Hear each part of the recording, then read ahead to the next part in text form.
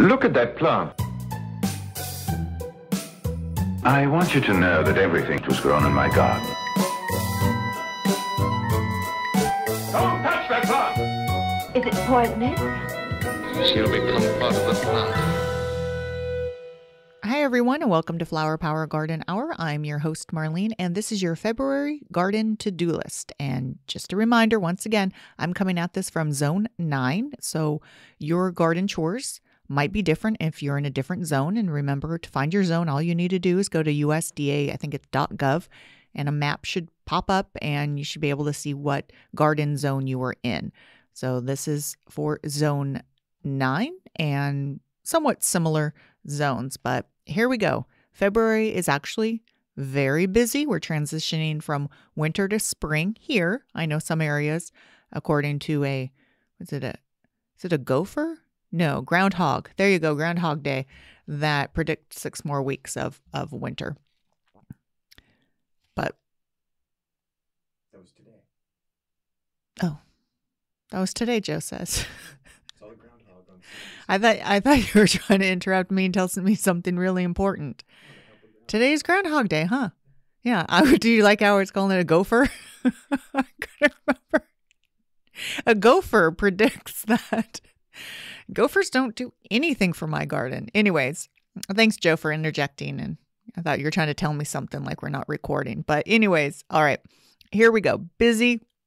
Um, even though we're transitioning to spring, we're really hoping we get some some rain and more snow here in California.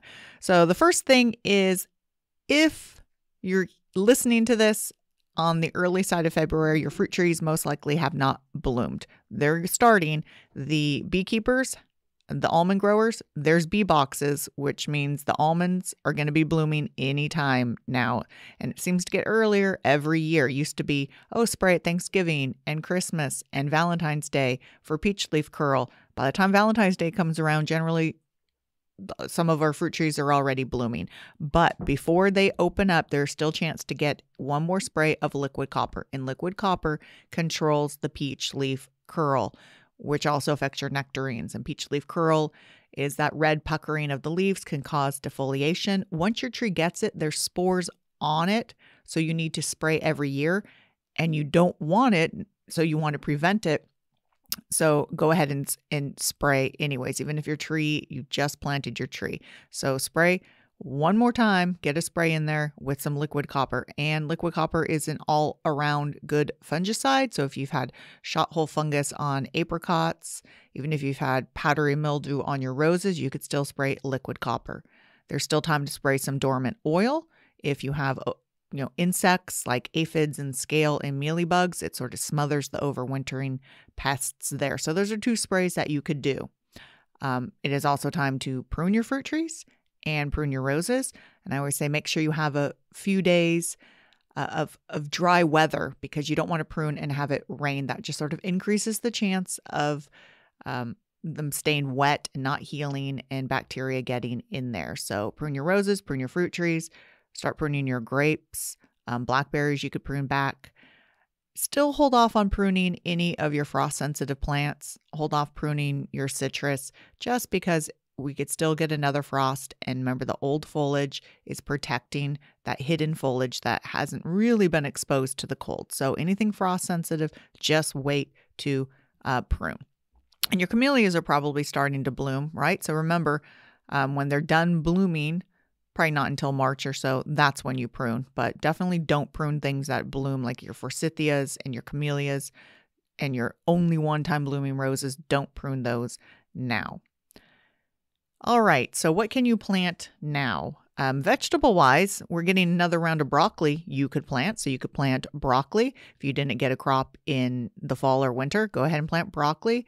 Plant beets. You could do plants or seeds, cabbage, carrots, cauliflower, another round of cauliflower you could plant, chard, collards, kale, lettuce, mustard, peas. And towards the end of the month, you could even actually start some potatoes and then, of course, radishes. So, those are some vegetables you could plant. And bare root. There's still bare root roses and bare root fruit trees you could plant. Nurseries generally, whatever they don't sell, they pot up or some automatically do that anyways these days. They get the bare root in and they put them in uh, like peat pots.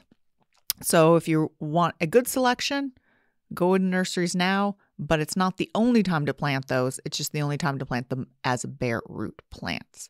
All right, also amend your soil, getting it ready for spring planting. And amending soil just means get organic material in there, get the nutrients in there. It's your own compost, store bought compost, chicken manure, alfalfa pellets, really anything to get the nutrients in there. The microorganisms breaking it down, uh, getting that nitrogen to a usable source. So you don't want to just put it right when you plant. Ideally, you put it ahead of time. Um, beneficial nematodes. I, uh, for me, mentioned this before. These are good worms that are in, you put in your soil that are going to control pests that are overwintering or have a life stage in the soil. You could buy them from Arbico Organics. And you want to add them more than just once because you want them around and you want the numbers multiplying. So in spring, summer, or all the different stages of the quote bad bugs are in there, they're able to get them. You just really mix them in water and pour them into your soil, moist soil. Yes, you can start planting your uh, your tomatoes and peppers inside. I just looked at um, uh, Brad. Brad's from um, Wild Boar Tomatoes. looks like he just did his first planting of tomatoes in the greenhouse. It's a little on the early side, but if you want to get your plants big and robust, go ahead, start them now. Don't start them outside, start them now. But along with that is if you haven't bought your seeds, buy your seeds if you don't have any because people are really into gardening. And some of these seeds a few years ago, I know were just gone, sold out. So buy online, buy at your local nursery. Um, so buy your seeds. And yes, you could start your peppers and tomatoes inside.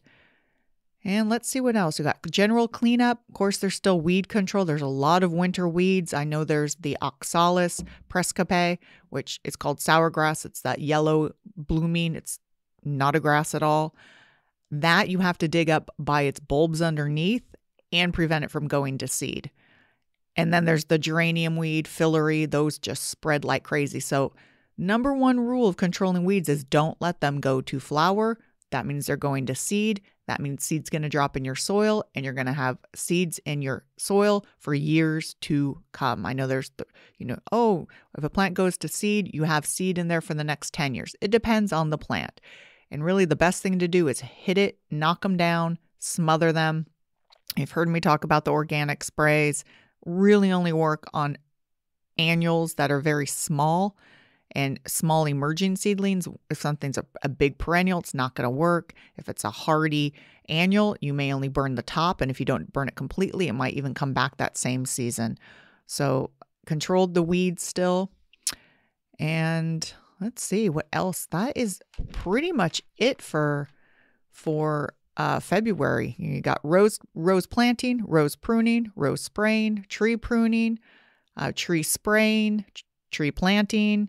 You got your vegetable seeds inside for your summer. You could still plant your outdoor winter crops. Compost amend your soil. Remember, if you have a compost pile, make sure it's moist and it has good amounts of nitrogen to carbon uh, beneficial nematodes, spray to smother overwintering insects, do a little bit of cleanup, but not so much that you're exposing those frost sensitive plants to it.